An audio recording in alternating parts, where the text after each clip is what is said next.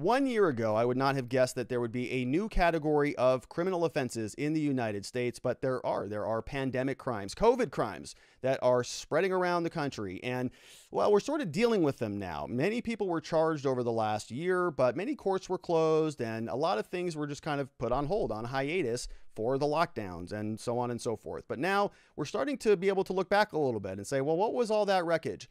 What were all those cops doing showing up at people's businesses and writing citations for not wearing masks or for not socially distancing or for going to a park or a church or spending time with your family, walking your dog, whatever? We all know it. We all live through it. And I am a defense lawyer. I got calls from people saying, hey, the Scottsdale police are at my house right now, or they're at my business, they're at my gym, they're at my restaurant, they're at my hair salon. What should we do about this? Well, you know, at the time, the government basically had total control and they were acquiescing to themselves anytime that anybody challenged any of these authoritarian sort of, you know, shows of force from law enforcement. Uh, the, gov- the courts and Congress and everybody just sided with law enforcement. We're in an emergency. They have a lot of leeway, a lot of power to do whatever they want to do. So now we're looking backwards and we're saying, what happened? Because this felt inappropriate. It felt like the government touched us in all the wrong places and we're not happy about it. And I want to show you a, an article from Michael Tracey. Now, he's over at Substack, mtracey, T R A C E Y dot substack.com. Encourage you to go support him and to follow him on Twitter because he does good work. He's also pretty prolific on Clubhouse as well. And he did a deep dive on this. So he went through and found a bunch of documents from Newark, New Jersey that detail some of the arrests that were taking place back during a, a very high sort of intensity COVID crime enforcement era. And I want to show you what some of his research looks like because it is insightful. He says new documents show that police charged thousands of people for petty COVID violations. In March and April of last year, drastic emergency measures were imposed by federal, state, and local government authorities for the stated purpose of curbing COVID.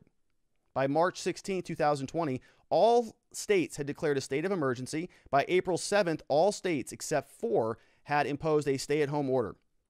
Counties and municipalities also decreed their own separate COVID related orders, as is usual in the U.S.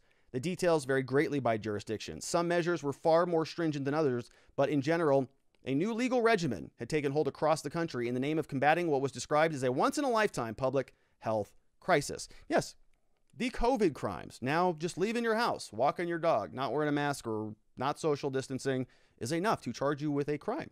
Kind of a scary thing but that's the nation we're living in. From the outset, a pressing question and still yet to be adequately answered was how exactly these emergency orders would be enforced on a practical ground on the level, uh, on the ground level. Were police officers being directed to issue summonses and make arrests? If so, what under what authority? The diffuse patchwork of laws in the US made this difficult to ascertain in any kind of comprehensive way. Last April, I went to Delaware after coming across reports on social media that police were pulling over drivers with out of state license plates pursuant to the governor's COVID related emergency order. And I remember this, right? I think this was uh, around New York. They were actually stopping people going in and out, crossing state lines, going, hey, where are you coming from? We don't want you in our state unless you're quarantined for a certain period of time. All right. This is not in the distant future. I mean, I know many of us want to forget about this, but this was happening. says, when I wasn't pulled over myself, I did speak to a number of people who had been seemingly arbitrarily, since they were from nearby Maryland or routinely from Delaware, uh, they were stopped arbitrarily, he says. Even if one believed that certain emergency measures were justified under the circumstances, the potentially perilous implications for civil liberties during the periods were unmistakable. State authorities had been vested with vast new power to surveil and monitor citizens, regulate behavior, punish them for noncompliance, and yet our knowledge of how these authorities were actually deploying their powers was severely limited. Widespread closure of courts further complicated the situation. Right, you have a bunch of uh, cops out there enforcing a bunch of crimes. The courts are closed, so they're not processing any crimes. You've got people that are basically out of work that are now trying to, you know, go do something in the world. They are trying to keep their businesses open, their homes, you know, rent and mortgages paid, and food on the table for their kids. And the cops are out there rounding people up for, let's see, let's see what they're doing out there. Oh, how about this? Sitting in a park was one of the violations. How about this? Sitting and talking to others. Oh, there's another one. Here are examples of unauthorized or otherwise unlawful acts which allegedly contributed to, quote, jeopardizing the health, welfare, and safety of the people. Police also accuse them of uh, sitting on a milk crate, visiting with no legitimate purpose, hanging out, being in the street with the company of another, in the street with the company of others, sitting on a bench smoking, encouraging others to not social distance, standing outside enjoying the weather, socializing with another, not social distancing, and of course, standing without a mask, which is basically a death penalty type of an offense. These violations are punishable by up to six months in prison and a fine of $1,000. All for that stuff sitting in a park, hanging out, in a street, sitting on a bench smoking, the stuff that you do in a free country where you're allowed to just get up and go outside of your house. Well, back over here in Delaware, New Jersey, they're arresting people for that stuff. Now, as of on April 26, for example, a woman was charged by police with violating another statute, 2C colon 24 7.1A1, as defined as recklessly engaging in conduct which creates a substantial risk of bodily injury to another person. All right, well, that sounds pretty bad. What was her violation? It was described by police as did knowingly endanger other citizens by not having a face mask on, per government executive order, to have one to quell the high rate of COVID 19. So, by not having a mask, they charged her with a crime that says she was recklessly engaging in conduct which creates a substantial risk of bodily injury to another person. Folks, I will tell you this, okay? That type of charge is a commonly seen charge. You see that in Arizona. It's a reckless charge. Reckless comes from the old common law, it's been around for a long time. We know what it means. It's sort of pernicious in our statutes.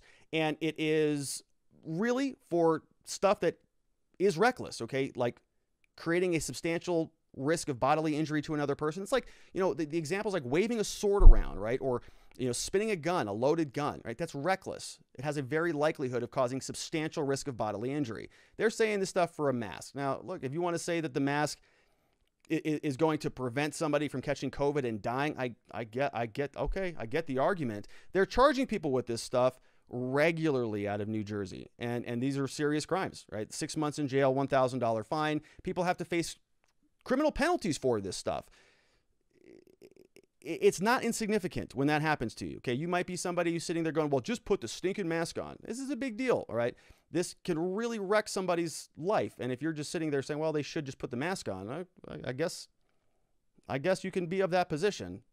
We have uh, somebody else saying here, or no, this is another part of the article. Says here is a small sampling of the summonses summonses issued on one day in April, taken from the police log I obtained. Okay, one day. So they're just going around and racking all this up refuse to disperse, practice social distancing, violating a shelter in place, failure to abide in a shelter in place, congregating with other people, criminal charges for this garbage, violating executive order for COVID 19, group of people hanging out, violating a stay at home ordinance, violating executive order, and the list goes on and on. Violating shelter in place. Look at all these things. People being charged with crimes for this garbage going to a park and stuff. All of the above individuals were charged with obstructing administration of law or other governmental function, a disorderly persons offense. As you can see, a large number of people, but not all of whom are listed as non whites, were explicitly accused by police of disobeying orders of the governor. On March 30th, a man described as black was charged with congregating without maintaining a distance of six feet and without a destination in violation of the governor's order. Oh.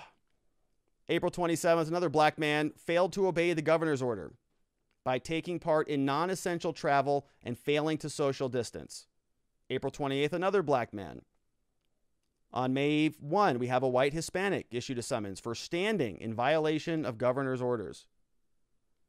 For all of the above violation, police said no warning was given. Spoke with a spokesperson Phil Murphy for the Post. What she thought of so many people being ensnared by the criminal justice system for the crime of defying the governor. She responded uh, saying, throughout the pandemic, local law enforcement has enforced executive orders and issued citations when they deem appropriate, as they would with regard to any other state law. Right. So, yeah, nothing. So they have no answer. Right. It's just, well, they have to enforce the law. Okay. I guess so. What did the Newark police say about it? They said they did issue summonses to individuals they found, nothing more there. Clearly not what happened per the Newark Police's own direct. Wait, what? Hello. Per this, we did issue summonses to individuals found to be in violations. These were primarily for large gatherings and businesses operating outside of executive orders. Let's see. That's not what happened. Per the police's own records. A significant number of people were issued summonses for claimed offenses for failure to wear a mask, which is what a black man was cited for on April 17th, being outside of non essential business. Same, so we already went through all of those. Here are more of the violations. So, individual will stop for an enforcement order, was observed, on, an individual was deserved, observed on the corner, stopped for violating COVID 19 executive orders, drinking a 16 ounce can of Steel Reserve in public. Oh no. We have somebody was standing in front of commercial property. We have somebody congregating with three other people, failing to maintain six feet of distance, failing to wear proper protective gear, so not wearing a mask. All of these people just being charged with crimes. Six months jail. Man named Richard Brandt is another example. April 27th, he has uh, he had been with his wife going for a walk says that we were by ourselves. She had her mask on. I had a mask in my hand. Two cops drove by them in a squad car, stopped specifically to give him the ticket. Brandt said of the main officer. Said, I think he was a newbie. I'm telling him I'm with my wife. I'm not around anybody. Took him a long time to write it up. The new guy was very nervous. He was also perspiring giving it to me. yeah, because he knows what a racket the whole thing is. He's embarrassed by what he has to do. Many of these citizens or citations issued over a year ago are still active cases, according to the New Jersey courts system. Others appear were uh, to have been dismissed at the discretion of the prosecutor. Still, even being brought into the system this way can have serious consequences for people. Yeah, there's no no doubt about it. Many people don't understand this. You know, they think that if you're charged with a crime and the prosecutor just dismisses it later down the road, that oh, no harm, no foul. Is that the case? Well, what about the fact that you were probably arrested and your liberty was seized for a certain period of time and that your night was ruined and that you now have, beyond that, an active criminal record that's probably on the internet somewhere? Most of these records are public records. Okay, so once you get into the system, you never get out of it because we all know as, as soon as something hits the internet, it is there forever. Unfortunately, it scares the hell out of me. I say a lot of things on this show, but it is what it is, right? So if you're charged with a crime now, you get charged, the government later dismisses the case against you, you still have the the original submission. It's still out there somewhere. And if you had a mugshot taken, there are all these mugshot websites now that will sort of seize your picture and they'll put it up there for all eternity. So, you know, for the governor or for whoever was enforcing these things, well, just go get them a bunch of citations for their masks. They charge them with misdemeanors. These weren't just, you know, minor offenses. They're, they're misdemeanor offenses that very likely could carry consequences for them. We have another example an Egyptian man who said he received asylum in the U.S., got a COVID related summons while working at a business. He was under the impression he was permitted as, to work as an essential activity. But police entered, asked for IDs, and hand out, handed out summonses. So we've got some more of those. He's got more examples in his article.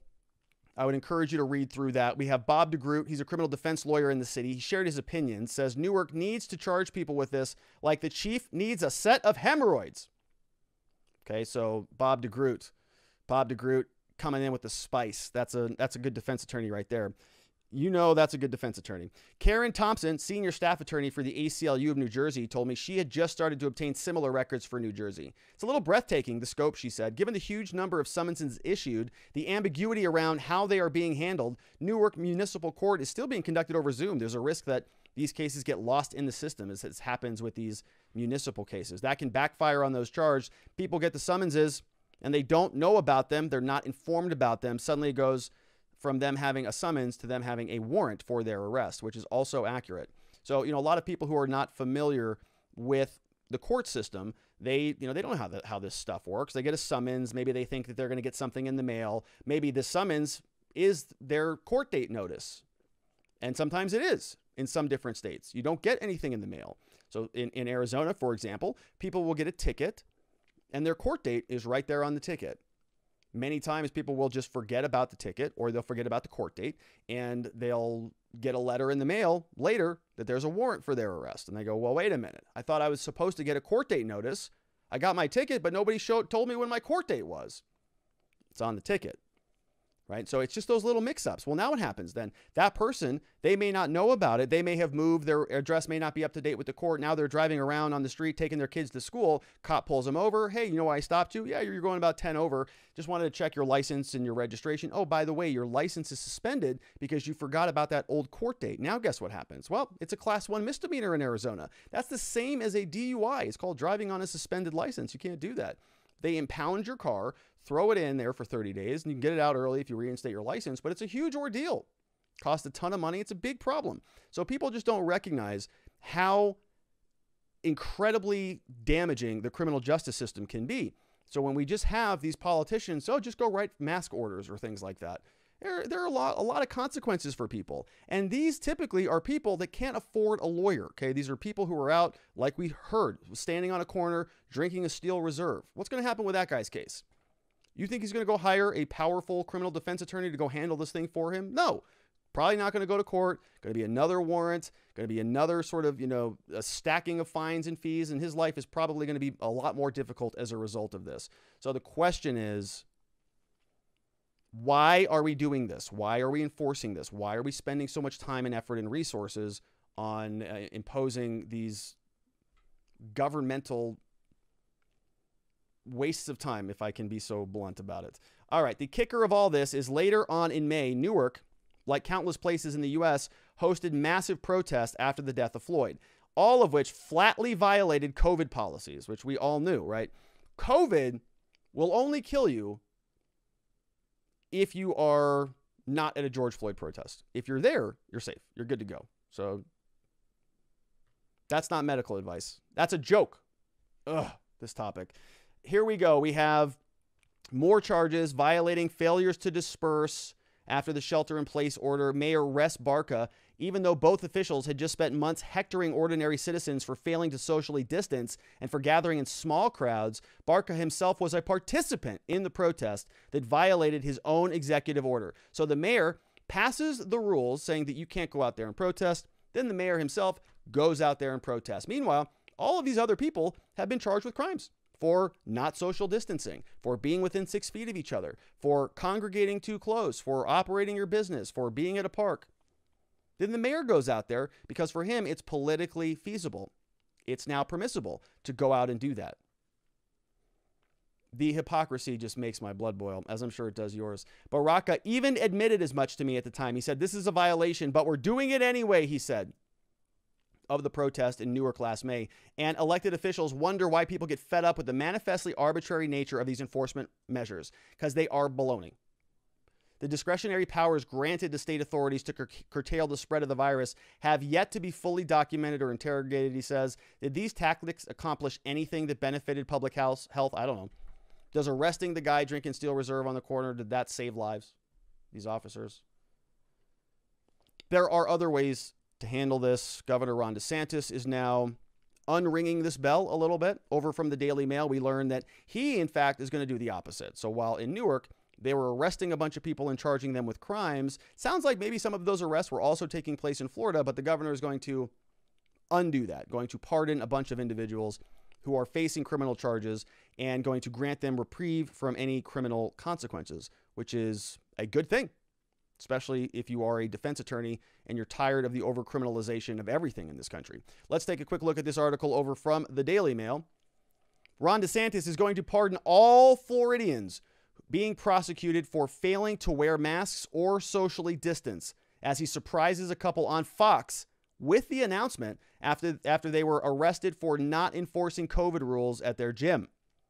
Florida's governor on Wednesday announced live on air clemency for everyone in his state who's being punished for COVID rules. Ron DeSantis, Republican governor, was on Fox News. He was flanked by two people, Mike and Jillian Carnevale, who are gym owners from Plantation, Florida. They were repeatedly arrested for refusing to enforce a mask mandate. The state itself didn't have a mask mandate, as DeSantis spoke strongly against them throughout the height of the pandemic, but individual counties and municipalities did have them, despite DeSantis weighing in against them. Now, people who are ensnared by the local rules will have their slates wiped clean, DeSantis said. So I was in the firmly keep the gyms open camp throughout the entire pandemic. I know that that was not a popular opinion back there in uh, March, April, and May, but I thought it was very important because if you are facing a pandemic that is a health concern, probably a good idea to be healthy. Might be a good idea to exercise, eat well, take your vitamins, not drink too much alcohol and put other toxins and poisons in your body. But we didn't hear much of that over the last year. We heard a lot of other stuff, like slapping a piece of fabric on your face. Okay, so now we have the uh, governor who is coming out and helping some people who were running a gym during this time. And we had some of these issues here in Arizona. There was a guy, Tom Hatten here, uh, runs a, a, gym called Mountainside Fitness that actually sued the government over this, said it was an equal protection violation. And I agree with him. Why are grocery stores allowed to be open? Why are Walmarts allowed to be open, but a gym cannot be open? Now, people say because people are hyperventilating and they're in close proximity. Same thing happens with grocery stores. People are touching a lot of stuff there too, picking up fruits, picking up the box of cereal and putting it's the same concept. And if they are going to shut down one business and not another, they better have some pretty good justification for it. If we're all talking about science, well, did they have any justification for for closing the gyms down and not the other businesses? Well, no, in my opinion, they didn't. And they didn't present any, certainly, before the government came out and issued their orders. So I was pretty irritated about that. And now we have, uh, you know, Ron DeSantis, who is dealing with some other gym owners. I'm not a gym owner, but other people who are gym advocates who uh, were, were arrested multiple times for trying to run their business and keep people healthy in the middle of a health pandemic. So here is Ron DeSantis over on Laura Ingraham on Fox News last night. Wait, let me swap this over. And we'll play that again. All outstanding uh, fines and penalties uh, that have been applied against individuals are suspended. Uh, I think we need to get away from trying to penalize people for social distancing and, and just work with people constructively.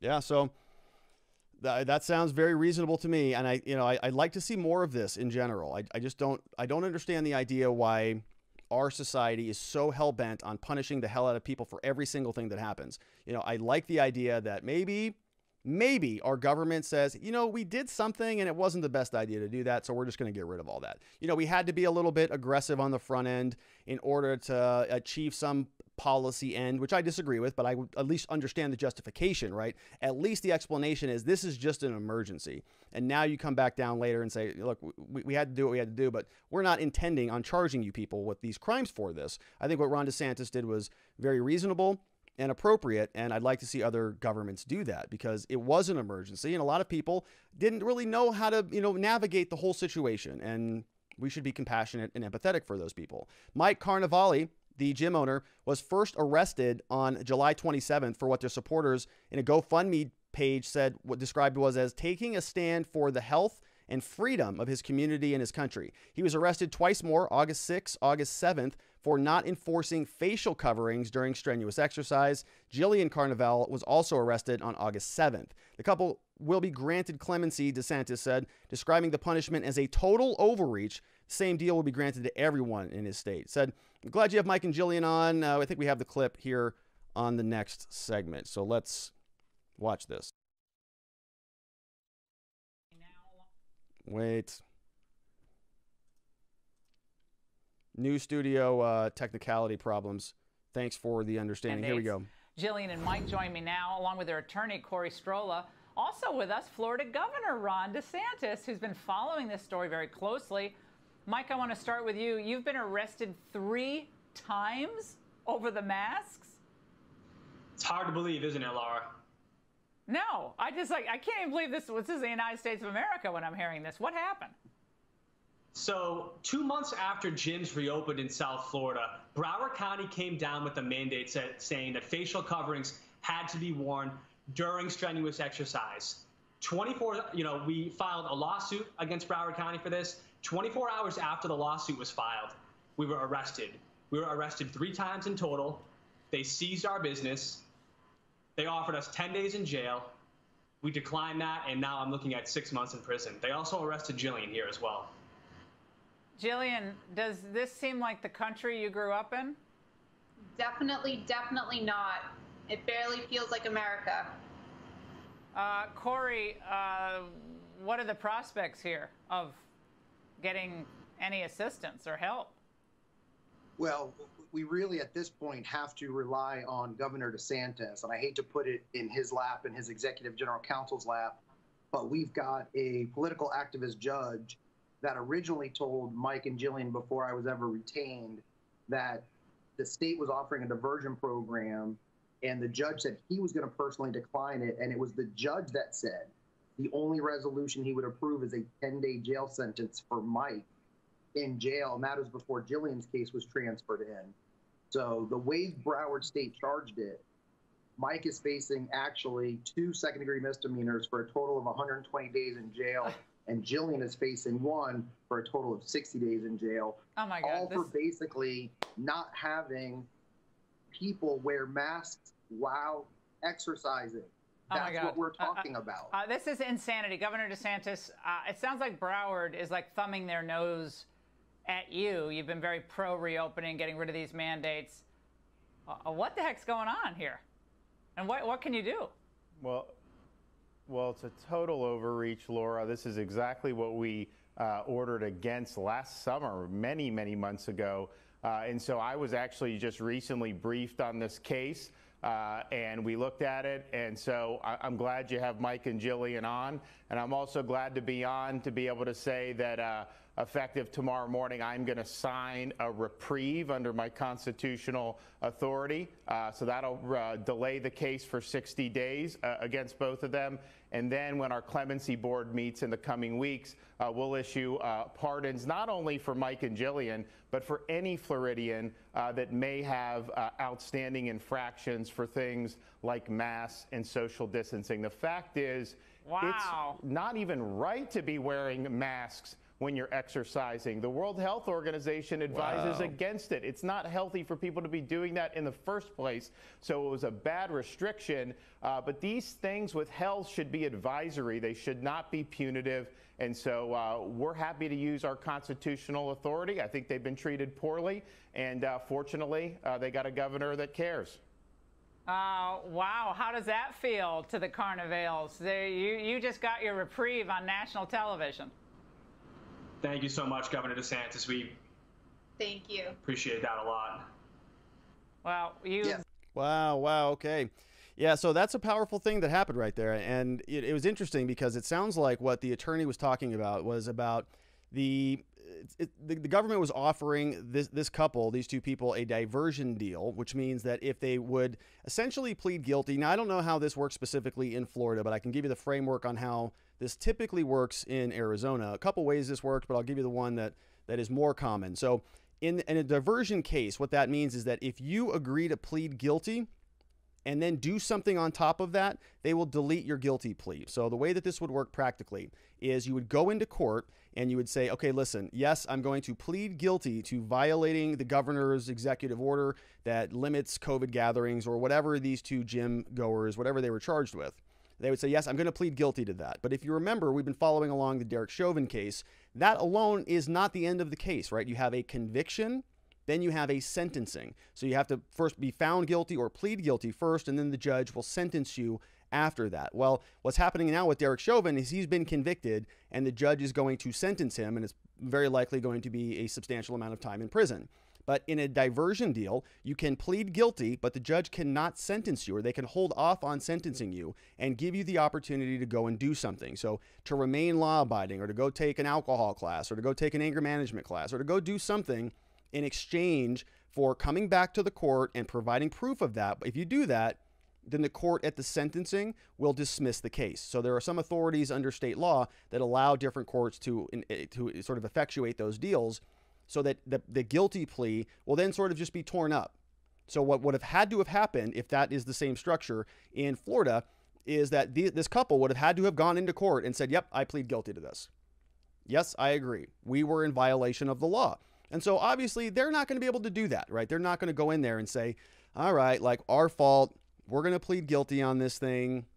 Sorry. We're going to go take these classes and come back. And then we're going to ask for you to dismiss the case. And so that, you know, typically can be a pretty good deal. A lot of people may want to take that deal in other situations. Like if you're in a disorderly conduct case, right? You're out in Old Town at a bar, you get into a fight. You're not an activist. You're not taking a stand for anything. You just had too much to drink. So sure, you'll go spend a Saturday morning in an anger management class in exchange for a dismissal. The whole thing goes away. Sounds pretty good. But for these this couple, for these two people, right? This is a this is a point. This is an activist m- moment. They are standing up for their business, for health, for free freedom in America. And so no way in hell are they going to take a, a, a, diversion deal where they have to go in and plead guilty to something. That's not going to happen. And the the judge, it sounds like, wasn't going to accept that anyways. If they if the government was offering that and they weren't going to take it, and the judge was sort of wanted to make a political spectacle out of this, said, "Well, I'm not going to take that anyways. I'm not taking anything less than 10 days of jail in a plea deal because that's what I think is appropriate." So these people basically were at the end of the line, right? It, it, I, I'm speculating here. But I would guess if I were their defense attorney that this is how this was going, that they're not taking a plea deal, that the government is not dismissing the case, they can't do that, and that the judge wouldn't be accepting a plea deal that they would take even if they had any inclination to do so. So the only other option would have been a trial. Now the governor just came out. That's not going to happen either. So that whole thing is uh, was was is now going to go away, and it's the right move. We don't want people over, overly criminalized for anything in this country. So we're going to wrap up this article over here. says finally that Florida is among only five states that have fully opened, according to a tally being kept by a government relations firm. Alabama, Arizona, Arkansas, Georgia all have 100% scores on the firm's tally when it comes to being fully open. Represent eight other states are also almost along the way. They have a 96% score. We have Illinois is the lowest with 45, New York is 52, California is 50. Isn't that interesting? All the big city, big blue states. As for clemency, Florida is the first state in the U.S. to issue such a clemency. And DeSantis has positioned himself throughout the pandemic as a pro Trump bulwark against Democratic authoritarianism. And he's doing a good job of it. I mean, he's capturing a lot of eyeballs. The number of people affected remains unclear. For perspective, just in Miami Dade County alone, there were 1,800 citations totaling $760,000. Can you believe that? Another 215 citations totaling $109,000. In Naples, we had 4,000 citations totaling another almost $800,000. So we've got uh, almost $2 million right there just in fines, just in fines. And I've said this, right? And I know it irritates a lot of the pro police audience out there, but serve and protect or tax collect. How much money is that? Ron is giving a lot of that back because they're not going to collect it. Overall, 52 out of 67 counties and 212 out of more than 400 municipalities responded to the Sentinel's inquiry. Uh, Orange County reported 13 arrests. Florida stood out from other states when it comes to hands off coronavirus rules and did a pretty good job with it. Since the early days of the coronavirus pandemic, no two states have been more different in their approaches than California and Florida. In early March, California Newsom limited gatherings, closed bars, indoor dining at restaurants, and implemented mask mandates and implored residents to stay at home. Comparatively, Florida Governor Ron DeSantis has enacted few measures, lifting an ordinance that prevented people from operating businesses restaurants, as well as lifting COVID 19 related fines and penalties in September. Despite these different approaches, both states ended up with roughly the same outcome. Oh, so you're telling me that all of those arrests in Newark and, and, and Orlando and all of these other places that they didn't do much of, of anything or the I'm sorry, the arrests were happening all over the country, but I'm talking about the mask mandates and the business limitations and the limited gatherings and the indoor dining bans and the list goes on and on. Let's take some questions over from watchingthewatchers.locals.com. And first one in the house is from Osak. Says, Rob, is this possible that this was about money? Hard for a city to make money like traffic tickets or other city ordinances when no one was out and about. Yeah, I, I think that you're exactly right. Criminal law is big, big money. And I talk about this a lot. So is traffic tickets, traffic tickets and traffic fines. In in Scottsdale, the last time I looked at the numbers, our photo radar system, the, the, the, cameras that take your pictures all over the place. We have a lot of them in Scottsdale. Millions of dollars a year. Okay, I don't remember what the number is now, and I don't know what the number is uh, it, relative to COVID because that, that year was bad. But the last time I looked at it, it was like six to seven million bucks a year. That's, that's not insignificant. That is a nice chunk of change. We just heard in the previous slide that there were almost $2 million in fines and fees that were going to be generated from some of these COVID restrictions. So they make a ton of money over this stuff. And if nobody's out driving around, if nobody's holding conferences, if nobody's going out to bars in 6th Street and Old Town and having wedding parties and bachelor parties and coming in for golfing events, well, you're not going to get many DUIs. You're not going to get many disorderly conducts or urinating in publics or criminal trespasses. So, how do you make up for the gap in your budget? Well, you go enforce all these COVID crimes. Not wearing a mask, not social distancing. We just saw Florida, 2 million. Now, they're not going to collect it because the governor is going to give it all back, but wow. Give it back to the people. Shouldn't have taken it in the first place. Ryan is in the House says last year when all of these draconian curtailments of constitutionally protected freedoms were taking place, I suspected that once all of the COVID 19 restrictions eventually would be lifted, there would be a massive deluge of lawsuits being filed against local and state governments sweeping the nation. Do you anticipate this happening? If so, when should we expect to start seeing this? So I'm not sure that we're seeing a massive deluge of lawsuits. I mean, I know that it kind of depends what lawsuits you're talking about. I mean, I think that we're going to see a lot of consequences from the COVID era. You know, I think people are sort of of this mindset that oh, we're over it. You know that we have uh, the vaccines are out now, everybody's out and about, a lot of restrictions are being lifted, but we have not paid the bill for that. Okay, we basically took a year off. We printed a lot of money, didn't produce much of anything, and we're gonna the, the bill's coming due, and we're seeing that in inflation. We're seeing that in the stock markets. And so people who are doing cartwheels because it looks like Biden has delivered us you know, to the promised land I think are in for a rude awakening when the end of the year comes. Unfortunately, now as it comes to COVID, I'm also not you know not sure that we're going to see any any lawsuits sort of a lot of people were afraid, a lot of lawyers were afraid at the at the outset of COVID that people were going to be suing each other for giving each other COVID, right? So if you're like an employer and an employee gets sick, is your employee going to sue the employer, or is you know is is Walgreens going to get sued, or is Walmart going to get sued, or you know for having people who get sick in their stores? In other words, uh, uh, is there going to be a lot of civil liability flying back and forth?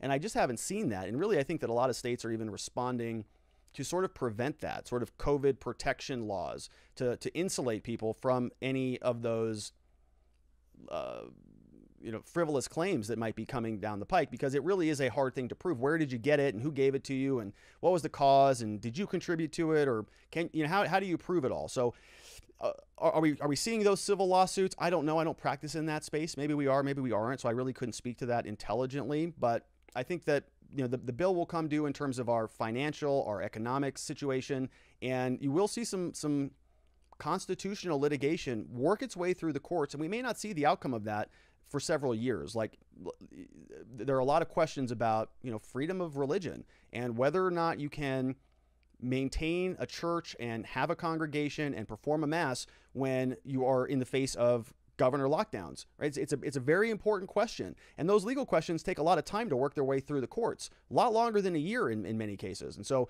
you know, unless the Supreme Court accelerates anything, we may see that some of these constitutional issues land at the Supreme Court this term or, or next term. But I think there's still a lot to, to sort out. We're just sort of working our way through the wreckage right now. You know, for about a year, our butt was in the fire. And I use this all the time. This is the fire and this is our butt, just right in the middle of it. Well, now we're sort of working our way out of it. And some of the, the heat is dissipating as we create some distance there.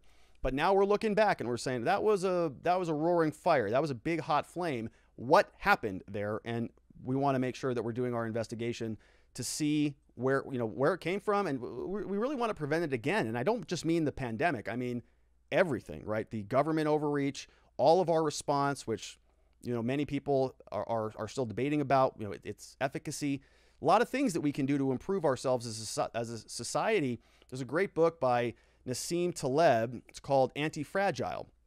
And it's this concept that that when you have a, a, a system that is that is, let's say, robust. There, there, are these three kind of, of statuses, or there's a status of a system that can be strong or be robust. In other words, it's not going to be knocked off of its game under ordinary circumstances. It's robust, right? Like think of, like a, of a car that's reliable. It gets you where you're going.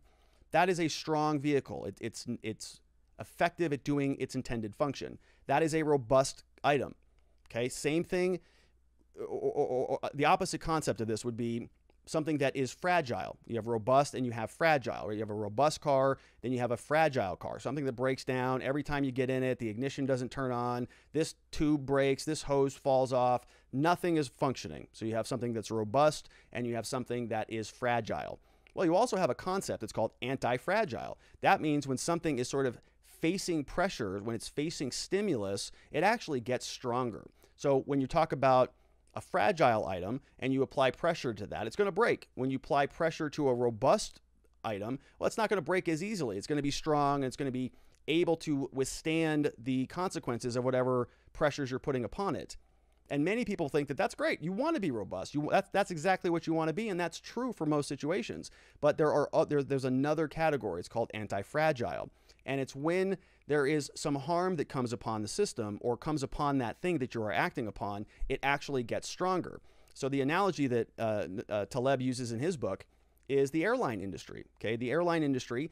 Every time there's a plane crash, that is a dramatic thing, right? That is an awful thing. We use some lives, but out of that bad environment, out of that bad incident, the entire system of the of the airline industry gets stronger because we root out the problems. We say, "Oh, that machine didn't work, that equipment failed. We should have tightened up this procedure. That pilot screwed that up, whatever." And the entire system gets a little bit stronger. So, you know, same concept as we're working our way through this pandemic. You know, we want to make sure that as a society, we are taking a look at some of the old systems and the old things that don't serve us anymore and get rid of those while we are favoring and supporting the things that, that continue to work. And um, eh, eh, governments and, and politicians and governors and, and eh, we're all trying to figure that out moving down the road. Next question comes from DeSantis. I'm sorry, comes from Want to Know says, Did DeSantis actually stay execution of prosecution and recommend that he would send the case to the pardon committee and recommend it gets pardoned? Doesn't the governor have full pardon powers? What does the pardon committee do? Understand the governor gets a lot of requests, but this was done on live TV on the Ingraham show. So I don't know about the specifics, but I think on the show, didn't he say that he was going to sign an order tomorrow, which will probably be maybe today or tomorrow? So uh, we'll be able to take a look at what that says a little bit more specifically. But either way, I mean, I think that eh, those are just details. This is him ultimately making the commitment that these charges are going to go away, which is a good thing. Sharon Quidney says this was a golden opportunity to get a lot of extra cash from fines and from the government. Yeah, uh, you're right, Sharon. No question about it. Justice First is in the House, says COVID restrictions. You can't legislate social courtesy. Most of these violations would only require the cops read a statement to everyone present about the medical risk and courtesy to others, and then leave it at that for adults to make decisions. Sounds it sounds reasonable to me, right? I think that that most people can can think for themselves, but the government doesn't think that. They think that you have to be told what to do and you have to abide. Otherwise, if you don't, you have to be arrested and charged with a crime. Jeremy Matridas in the House says, "How about governments able to bring criminal charges against people for violating rules dictated by the governor or health department and not by the legislature? At most, wouldn't these be considered misdemeanors?" So, uh, yes, that, yes, they, they should be considered misdemeanors, I would imagine. I don't think that anything that we've talked about would amount to a felony violation. You know, felony, the difference between misdemeanors and felonies felonies, you think about prison, misdemeanors, you think about jail. Most low level offenses that don't involve, you know, massive amounts of drugs or serious physical injury or repeat offenses, most of those are going to be misdemeanors. So I would imagine that that most of of those would be misdemeanors, if not all of them quite frankly. Liberty or Death says, Wow, here I am thinking that Article 4 guaranteed the people a Republican form of government. You know, the whole separation of powers. Good to know that all it takes is a pandemic with a 1% mortality rate for the Constitution and the rule of law to be suspended, and the executive can order the arrest and fines of the citizens for disobeying.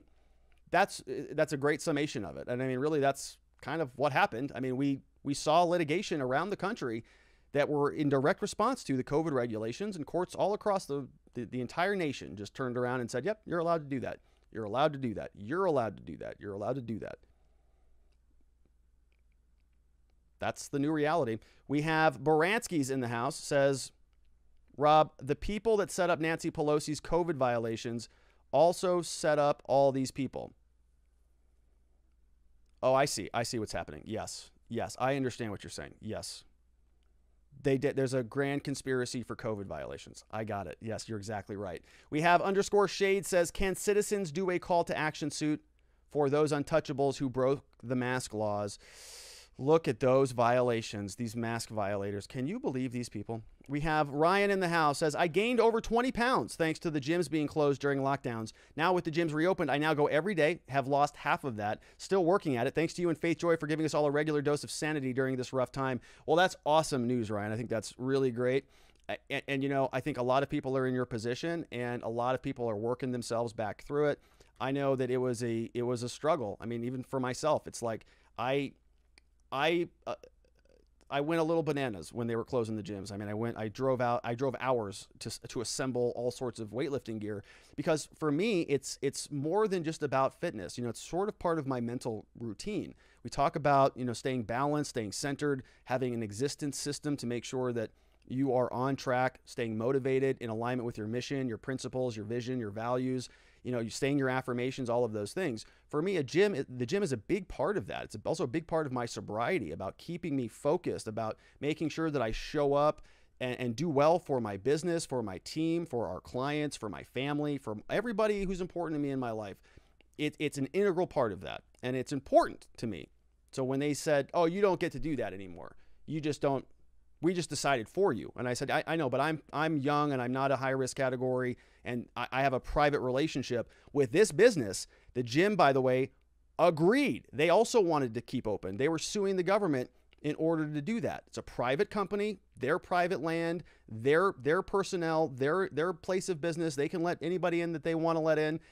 I'm a private citizen. I could not go and do business with them because the government said so right? Regardless of what you say about COVID, you could say you two people are idiots, you two morons. You're going to go in there and work out with a bunch of other morons. Good riddance to all of you, right? That's fair. That's our decision. We want to get up and do that. And you can say, well, it's got this, you know, spillover effect and it's going to hurt other people and the list goes on and on. And you can you can say that about everything until you're blue in the face. I wanted to go engage in this. They didn't let me do it. I'm still a little bit hot about it but we're back in business now. Now, Ryan, I just want to commend you again on your on your commitment to getting back in there because a lot of people are not doing that, right? Look around. A lot of people are just sort of writing that year off as a lost year, which I think is sad. We got to get back in business. Let's get after it. All right, Norovirus in the house says, I'm betting on this. Police motor vehicle stops is what will break the spirit. People will fire police over the fact that they do taxation this way. Yeah, people people hate the traffic stops. There's no question about that. No question about it. We we some years ago, maybe a decade ago, we had somebody in Arizona who actually shot one of the photo radar cameras. I mean like good, like 4 or 5 rounds into that thing. Just like, "Nah." Made everybody feel good. But that was illegal and I do not condone illegal activity. All right, we are going to be, uh, thank you once again for all of those questions over from watchingthewatchers.locals.com. I really appreciate your support. You can find us over there. A lot of good events coming up, a lot of good things that you can download over there, including a copy of my book. So check that out.